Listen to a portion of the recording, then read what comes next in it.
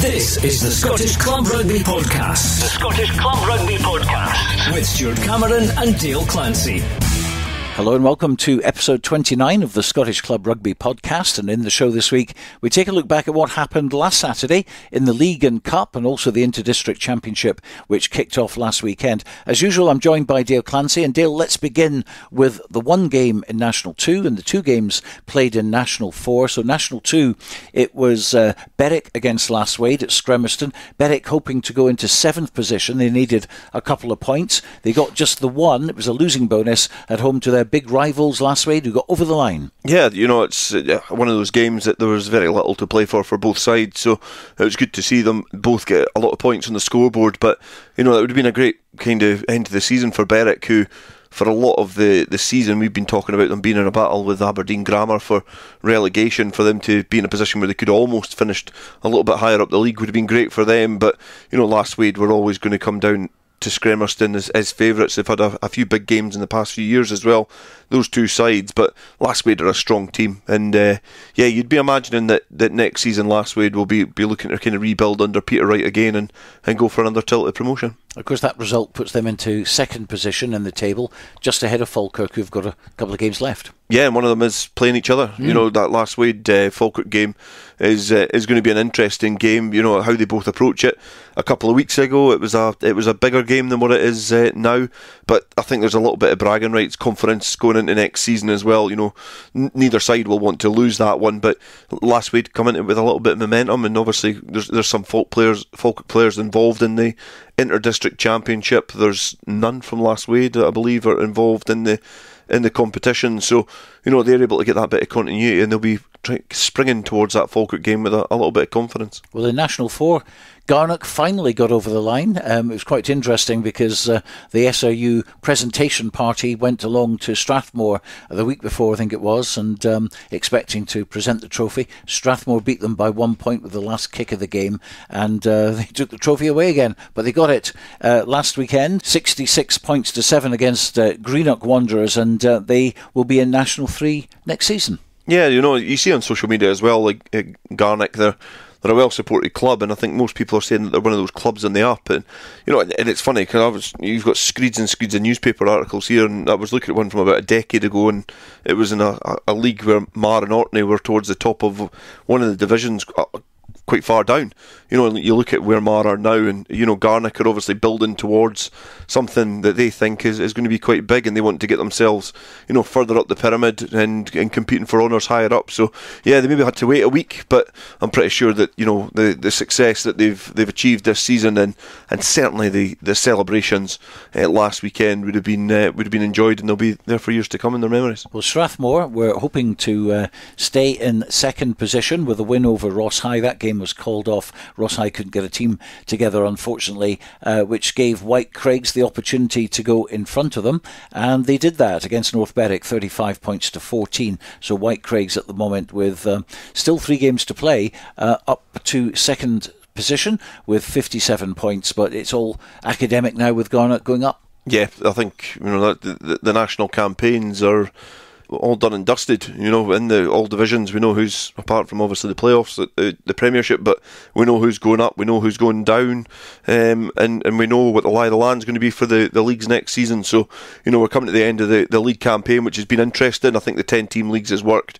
Um, we've also obviously got the focus on the uh, on the cup competitions now, and obviously the inter district championship. So it's a busy time, and then bring on the sevens. So no cup or League Cup games played last weekend, and in fact, uh, the 6th of April is when we get the quarter-finals. The draws be made for that, by the way. Allan Glen's against Howe Fife, Boroughmuir will play Newton Stewart, Preston Lodge against Falkirk, and Stirling County against Lasswade. Now, the one that screams out for me, Preston Lodge versus Falkirk. That's going to be a good one. Preston Lodge, of course, winning promotion up to National Two. Yeah, I think that's the game that uh, does stand out. Um, you know, of the of the other games, you probably do look at one of the teams as a, as a clear favourite, but because they're in different leagues and they've both been successful to a degree in their own divisions. You know, Preston Lodge obviously getting promotion from National 3 and Falkirk have, uh, have run Peebles and Lasswade all the way to the end of the line for promotion from National 2. You know, that's one of those games that yeah, you don't know how that's going to unfold, but obviously we've got another another week until the the quarterfinals come round. And one big point from PL could perhaps be, you know, the absence of their fly half Scott Clark, who's been playing mm-hmm. for Edinburgh District. So this is where that little bit of impact and that little bit of, um, you know, the, the interesting narrative comes in. You know, personnel and players not available. So yeah, I think you know you look at the league the, the League Cup, and I do think it's quite interesting because you've you've got the potential for a really interesting final, which I think that perhaps last season it wasn't the case. Um, I think that below the cup, the competitions were probably quite diluted, but you know, I would I'd be quite happy to be at, at Murrayfield and and watching a, a Falkirk Lasswade final or you know potentially a Howe Fife Lasswade or Stirling County final. I think that you know they're, they're historic teams, good teams, and obviously that's um, it's entering the business stage of that competition. So that's happening on the sixth of April. Thirteenth of April will be the uh, quarter final, the one outstanding quarter final in the cup. That's Accies against Heriots. Edinburgh Accies obviously had a game on the Scotland Ireland weekend in Ireland, so uh, that was put back to the 13th of April, and that's when the semi final will be played between Hawick and Currie. Obviously, that's a that's a huge huge game, um, and obviously in the, the, the current circumstances, there's going to be a lot of focus on that on that fixture in particular. So, you know, obviously we've got a, a lot of big games coming up with uh, and Currie. We've got the the cup semi, so the top two teams essentially in, in Scottish club rugby. One of them is going to fold one of them's got to go out the cup at the semi-final stage.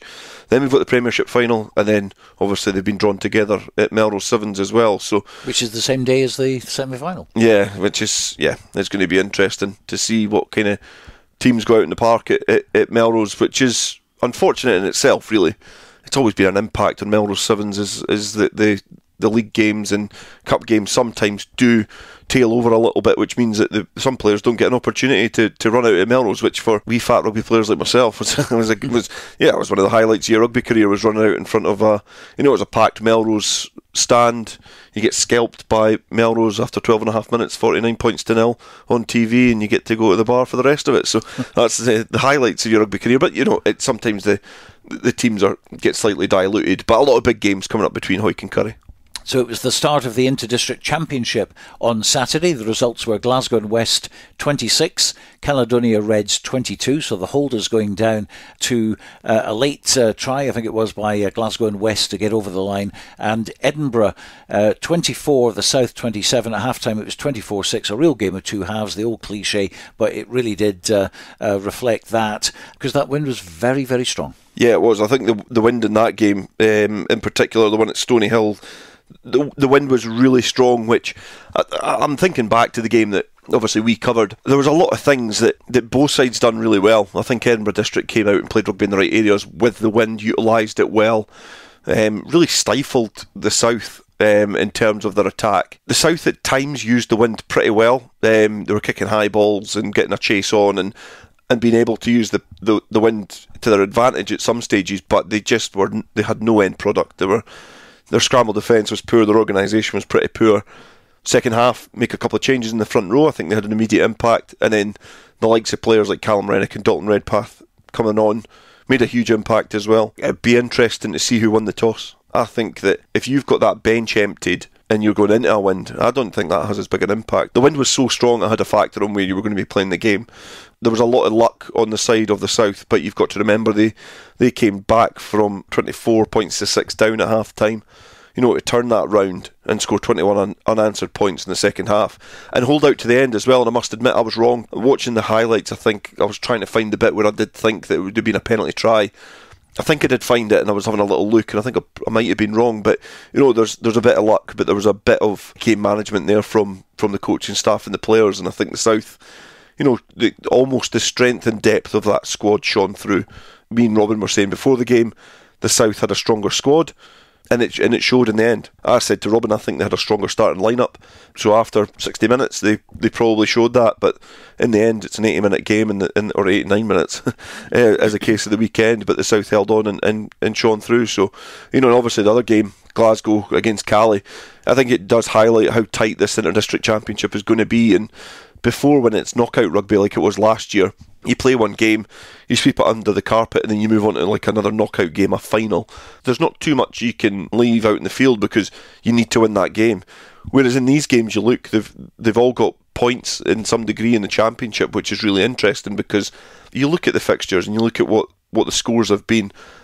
Either of those teams can beat any other on any given day, and if it comes down to luck, decision making by players, maybe a good strategy from a from a coach or a management team, that could be the difference between it. So I think that's what makes this weekend's round of fixtures so important because you've got the two teams who won last weekend, um, they're going to be playing each other, and then the two teams that lost playing each other. So the two teams who obviously uh, won last weekend are playing each other, and then the two teams that lost last weekend are playing each other. And you don't want to go on a run where you lose two games in the bounce because you're probably at the championship. So between Cali and Edinburgh this weekend, they know that they need to win. They they know that they need to get that win, and, and for the other game, it's a matter of trying to take take advantage and, and build a bit of momentum because you could create yourself a little bit of a buffer if results go your way in the last weekend. So Glasgow and the South put themselves in a great position going into round two whereas Edinburgh and Caley know what they need to do. But the, the benefit that they have is they've got some points on the board, and, and the South weren't able to pick up a full five points. So yeah, it's an, it's interesting. Great opening weekend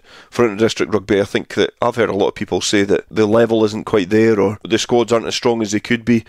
There's maybe elements of that that are quite true but you're going out to watch a product. You're going out to watch a, a, a, region play a region, and I think that is the that's where the excitement lies for me. Watching the South go to Edinburgh turn it around and, and, escape with a narrow victory after getting loads of pressure. It was, you know, it was a great rugby game. It was really, really good. And it, like some people in the press were also saying, it was a bit of a damp squib in terms of a spectacle. I, I, think quite the opposite. It was an intriguing 89 minutes at Stonyhill in terms of the way that the, the rugby panned out. And I dare say that this weekend's going to be exactly the same. Glasgow and West will be a strong physical outfit that the South will have to um, put up with. And I think I, I think the makeup of their squad will probably signal that they want to come out and hit the ground running at the start as opposed to last weekend. But you know the other two teams, it's going to be a, a little bit of a clash of styles. I think Cali like to throw the ball about a bit more. And Edinburgh, we we've seen at the weekend, past how physical that they are with the ball in hand. So it's going to be a, a really intriguing weekend.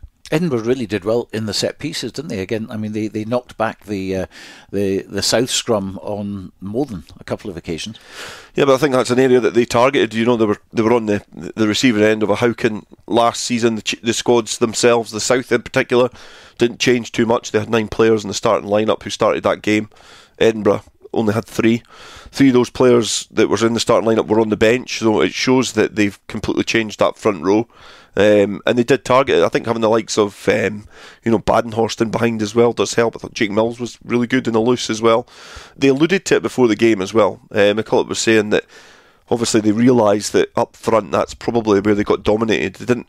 I was thinking back to the game. There wasn't really many periods at Netherdale last year um, in May where, where Edinburgh had the ball. If your forwards don't get the upper hand, then they're not going to be able to get any, you know, the backs aren't going, going to get any possession or you're not going to be able to play rugby in the right areas. So the strategy and the alignment of that Edinburgh team was chalk and cheese from last year.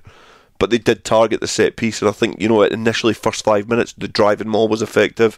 Even when they were defending five meters away from the south line, they were able to rip it round and be able to and able to score a try. I think their forwards certainly in the first 40 minutes had the upper hand on the South, but you know a couple of changes in the second half and it kind of steadied the ship slightly and it gave the South more possession, more composure, and a little bit more confidence to go and attack that Edinburgh side. But yeah, credit where credit's due. I think Edinburgh fronted up in the forwards, and you do wonder if they had a few more of their lineouts in key areas what would have happened? Would they have been able to perhaps uh, escape with the victory? And I think it's exciting as well, isn't it? The fact that you've got a beginning, a middle, and an end over a three-week period. It's a lot better than last year. It's it's because it's only four teams. It makes it really intriguing because every game carries a lot of significance. Um, but if you do get on a bit of a run at the start, if you're able to certainly win your opening game, it gives you confidence for the second. And if you can pick that up, you know that destiny's in your own hands, pretty much. You know, so the way that it's aligned this season, and I think as well the way that it is in the calendar, I'm quite happy with it where it is. But you know, it's it, it makes for an interesting campaign. So yeah, bring on this weekend. I think it's going to be another good weekend of district rugby. So Glasgow and the West at the top with the maximum five points. South have four. Edinburgh District two, and Caledonia Reds have one. So all the teams scored something, as you said. And um, let's go back to the game which was played at Stonyhill and hear from Kirk Ford, who was the, the South man of the match in that game. And before that, captain of Edinburgh, Charlie Brett. It's a bittersweet kind of feeling for the boys. Um, I feel like it is something that got one one that got away from us. Uh, the win was a massive factor, um, but I thought credit to our boys. We stuck in. It's always going to be difficult in the second half with the wind against you and, uh, and a South team, you know, getting the rocket probably at half time. Um, but the stuff we played in the first half was awesome. Um, and we are trying to build a foundation of a new Edinburgh. And I think we found a, a strong identity today. Um, and it takes us quite positives into, into next week. We just, we just said, let's play. Not play too much, but make sure we play in the right half. And um, and I thought we did that. The, some of the some of the skills that were brought put on show were awesome, but it is what it is in that second half. We've uh, we'll we'll just build from it from from next week. It's a massive honour to be able to, to represent your, your district uh, and even captain it. So it's, it's been awesome so far with all the boys. Everyone's bought into it this year, um, probably more than more than last year, um, and that's I think know, it's a great thing to bring back, and it's a good spectacle for, for what club rugby's got to show for the next level. At Currie, we've got two boys with Cali as well, um, sticking their hand up there, and like it's it's a class thing to be able to achieve, if, as well as getting into your, your first 15 of your side, being able to push on to district level and, and so on and so forth for the next coming years. I think it's brilliant. So um, nah, it's, it's a great a great addition back in, and like I love that today, and I know the rest of the boys did, even though it's a, one of those bittersweet ones to finish with. It's it's not over. Like that's the one thing I did say in the in the huddle there as well. We'll build on it on Tuesday into Thursday, and we'll go again against Cali at home which is really good. We got two home games, so you know, it's, it's a great thing. Two points, we'll take it, and we'll go into next week hungry. Aye, aye. We said at half time we were going in that it was easy a 20 point win. We thought like so. We, we never really played how we wanted first half. We never really managed the game, especially into the wind. So aye, we just thought try and pin them second half, play a bit more rugby. Um, and aye, luckily we were on the, the right right end of the scoreboard at the end. Okay, we thought it was easy a 20 point win when we were in at half time. So uh, we knew the conditions were going to be like this. So uh, thankfully we we just done enough in the first and second half, and we, we just got over the line. We were saying up before the game, and that this is the kind of culmination of the season for a lot of boys. So it's uh, it's brilliant to have it back after after a few years not having it, and especially having a full full championship again. So aye, everybody's excited to to keep going in the next couple of weeks. So to this week then, and uh, obviously top of the bill, based on the first week, is the fact that the South have their only home match. It's uh, taking place at Poynter Park in Kelso, and they're going to be playing Glasgow. And uh, the intrigue about this one is the two teams haven't met this century. Yeah, I think that's you know obviously last season the South played Edinburgh District and then obviously played Cali Reds in the final at Braidholme, and obviously the game that, that missed us was the the, the Glasgow uh, game. So going into this weekend, it's it's a bit of uncharted territory for everybody, which is um, I think off the back of last weekend's results as well makes it that much more intriguing and interesting because we really don't know what to expect. I think that of the balance of things, I think all the squads are really strong this season. Um, so it's just about approaching it the right way for both of these sides. I think it'll be physical. You know, you look at the makeup of the squad, and there's obviously not a huge air influence. Um, obviously, National One, but you know, there's a lot of a lot of good Hawks players in there, a lot of good Marr players in Glasgow's team. So you know, they'll they'll be trying to play to their strengths. Obviously, get a bit of ascendancy up front in the forwards, uh, really target that set piece, be accurate at the line out, and it'll give them a platform to try and release some of their, their exciting backs that they've got. You know, obviously Sturgeon was, was playing on Saturday, pulling the strings, an experienced, you know, playmaker for for Marr, but obviously uh, representing Glasgow, uh, Glasgow and West. So there's a there's a lot of really good players in that Glasgow side, and part of the problem that they had last year, I think Edinburgh themselves, was the fact that they didn't have as many good players across the whole squad than perhaps what Cali and, and the South did. That's completely changed in less than 12 months, but all the squads are really strong. So the South, I think, will, will, will go strong. They will they'll go with a, a, a really physical team. I think you'll probably see more of a Hawick influence in it as well. Um, so yeah, it's going to be a, a really intriguing game uh, this weekend. I think Glasgow. I think coming to this with nothing to lose. Um, I think that the pressure is all in the south. They were finalists last year. They have probably led the way in a lot of aspects with district rugby. So, you know, Glasgow will be wanting to come down and put their name on the map. So we don't know what to expect, but I think the one thing we do know that we're going to get is a, a really physical game at Poynter on Saturday, and I think it's who can play rugby in the right areas and make make the least mistakes. And I think that's going to be what sees the, the team out on top. Well, yesterday I spoke to Bruce McNeil, who is the player coach involved with the south of Scotland. Let's see what he had to say. Bruce, first of all, reaction to the game that we've just had. I mean, South got out of jail free in the end, didn't they? Absolutely. Um, definitely the result we were looking for, potentially not the the whole performance. Uh, certainly, second half was uh, was was more pleasing than the first half. Obviously, the the elements played a big part in it, but um, I think we showed tremendous amount of character in terms of belief and, and no panicking at half time and knowing that we had it in a locker to make sure that you know we controlled it and didn't panic. Knew that we didn't have to score straight away, and, and boys, to their credit, stuck to the structure that that they were given and, and implemented the game plan very well. Very surprised to uh, leak four tries in the first 20 minutes. Quality teams can do that to you, and as a coaching group, we sat down and we looked at it, and they're fixables. Um, you know, don't really worry us in terms of you know how do we fix that. We know how to fix it. Um, so yeah, listen, it's disappointing, but ultimately we can fix it.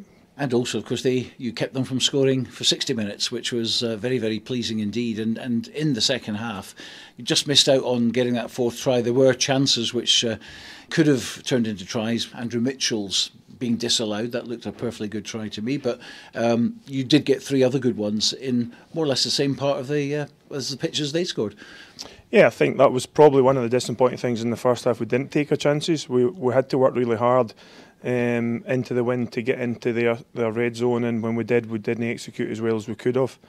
Um, so that was, you know, it was disappointing from our half. But yeah, listen, there, there, was positives and negatives to take out of the game, but we need to make sure we just get back on the training field, and, and luckily enough, we've got another game to to to right the wrongs. And that's the good thing about this championship. It's bang, bang, bang. Yeah, it's it's actually quite good. You know, you're starting to get a, a real connection with the boys, and, and we can um, put a bit of meat in the bones in training and whatnot. And it's nice to do a bit of analysis and uh, work on the, the work ons and, and you know praise the, the positives and make sure that um, you know we keep getting better and better every week.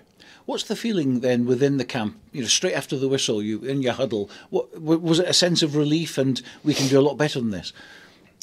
I think so. Yeah, obviously, you know, um, at this level, um, little things have big implications, and I think that you know them getting held up, you know. Listen, don't get me wrong, they score that in 80 minutes and, and we're in a world of pain. There's no two ways about it. You can't sugarcoat it. But at this level, you know, we'll live to fight another day and hopefully we can we can learn from that and make sure that the result doesn't paper over the cracks that we've got. We know that there's work on there to be had, but that's our job as coaches to make sure that, you know, we get that right for, for Glasgow. Very powerful scrum they had, and uh, they pushed you off several times. Any concerns there over the set piece? Yeah, we need to be better, um, as is you know all over the park. We need to be better, sort of thing. But um, we've been limited to what we can do in terms of set piece and you know with, with games and boys kind of managing game time and what we can do in training and stuff. So yeah, listen, they got the upper hand there. There's no two ways about it, but. Um, we'll take that as a personal thing and, and we'll make sure that we look to get better uh, in the coming weeks on that.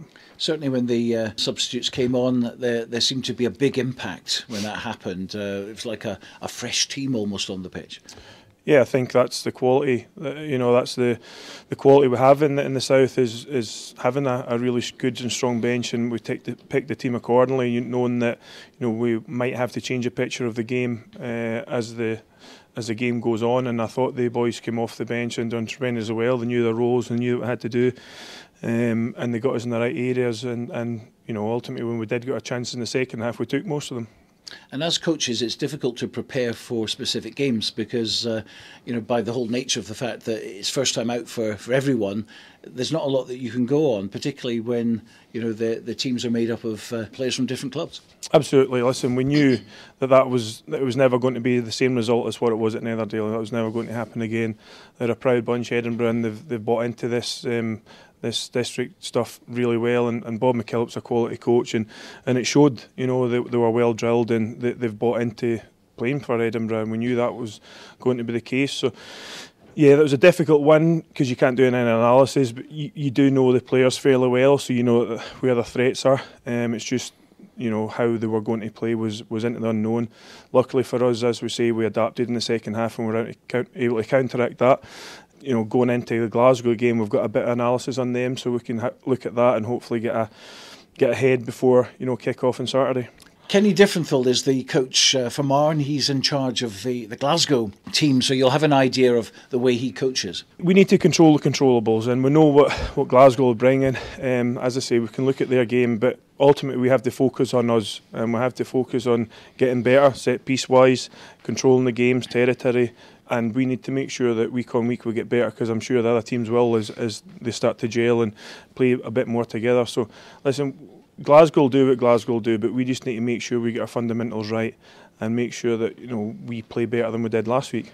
The luxury we have here is we have got a, a big squad of quality, and we can change personnel on, on the opposition and how Matty and, and Chegg feel in terms of how the game might go. We might pick guys that's better suited for one game than another. So I'm sure that the guys that, that do come in will be champing at the bit and, and you know slightly grieved that they, they didn't play last week and they'll have a point to prove.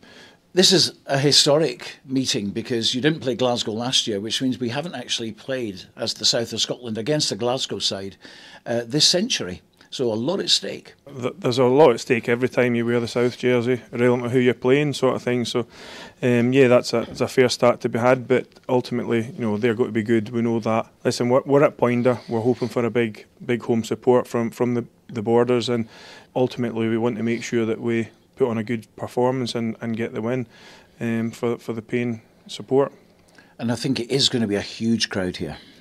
Yeah, well, I hope so. If I'm being honest, at, at Musselburgh there wasn't um, there wasn't much of an atmosphere there. You know, you, kind of sugarcoat it. It was what it was, and don't get me wrong, the conditions played a part, and, and you know, and whatnot in, in terms of how the game panned out. But we're looking to make sure that you know, I know Kelso Rugby Club's putting in a lot of work behind the scenes to make sure that we get as much support as we can, and it's our job as coaches and players to make sure that you know we reward them with with a performance. And in charge of the Glasgow and District side is uh, our old friend, the head coach of Marr, Kenny Diffenthal. Once all the clubs had submitted their names of their players that they wanted put forward for the districts, myself, Stephen, Thomas, and Jamie sat down.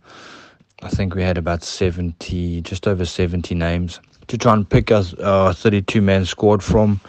So, yeah, it was, quite, it was quite difficult trying to narrow it down because there's lots of quality players out there between the four of us, trying to narrow it down as well as um, watching quite a few games to see individuals that were nominated that we didn't know much about. And so after we had narrowed it down to 41, 42, we watched a few more games and then narrowed it from there to 32. Um, that's how we came across the magic number of 32 squad members. And yeah, I think we've managed to get a very balanced squad, which is really pleasing. I think last year's squad was a little bit disjointed just because of the Super Six guys being away on Super Six duty, etc.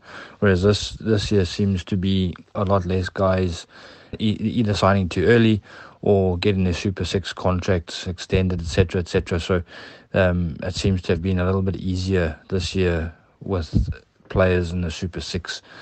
Saturday, really pleased with our performance. As much as we made a few errors and probably left a few points out there, I thought we played reasonably well in spells um, with one week's prep. I think the boys did really well. Um, a lot of lads putting their names up at training um, for selection. So selection's been tough again. Um, but then again, uh, the boys that played well at the weekend also, also putting in their, their names in the hat. So yeah, it's been tricky, but it's a great problem to have. Um, looking forward to the to the weekend uh, at Kelso's ground. Be another tough challenge, a slightly different challenge to what uh, Caledonia posed, but we're all looking forward to it and looking forward to a busy day out. So a quick look at the other game then. It's uh, the two losers effectively from the first, but it, they could easily have been the, the two winners as well. So we've got Caledonia Reds travelling once again to um, Raeburn Place this time to meet Edinburgh. Yeah, I think it's uh, again it's it's it's the same conversation as the game before. You know, inter-district rugby, it's it's really hard to call. We, we spoke about the challenges that Cali have in terms of the, the makeup of their squad and to have two away games probably just adds that little bit more pressure to them. Um, but I was really impressed with Edinburgh last week. I think that you know the way that they, they played with the kind of two playmakers with Brett and Clark both acting as first receiver. The, the pace that they've got on the wings as well and the physicality up front they've got a really good makeup of a, a really successful and uh, competitive squad so I've not seen too much of Cali, but they're they're not the reigning champions for nothing. They're they're not too dissimilar as to the squad that they had last last year, and they've got a lot of players who know a lot of these Edinburgh players pretty well in terms of the, the clubs that they've been playing at and the level that they've been playing at.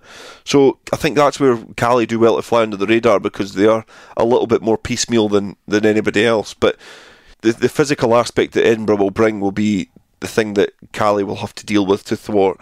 If they're able to get a, the ball on a dryish day and able to fling the ball about and stretch them and try and get that bit of width in the game, then Caley could find a bit of joy. But obviously, this Edinburgh side are, are a physical, physical team, and both sides will be wanting to bounce back, especially Caley. Being able to pick up points in the opening weekend, you know, obviously they got one, Edinburgh got two. Either side, even, are able to pick up a victory in this game. It sets up a brilliant weekend for the final weekend because we still don't know where the championship's going to go. So, you know, it's it's it's a huge weekend for those two sides, probably even more so than uh, than Glasgow in the south because momentum's on their side and they've got a win under their belt. Neither of these sides do, so they'll be doing everything they can to try and get a victory this weekend and breathe a bit of life back into their campaign. And looking at the fixtures for this weekend, apart from the Inter-District Championship, there's a match on Friday night, Strathmore at home to Dunfermline. That kicks off at 7.45 in National 4, and a chance for Strathmore to go back above Whitecraigs again into second spot.